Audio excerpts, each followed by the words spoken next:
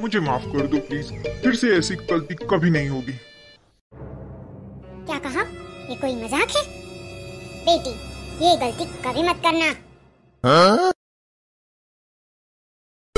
अरे नहीं माँ, वो कहते हैं ना, अगर सुबह का भूला शाम को घर आए तो उसे भूला नहीं कहते.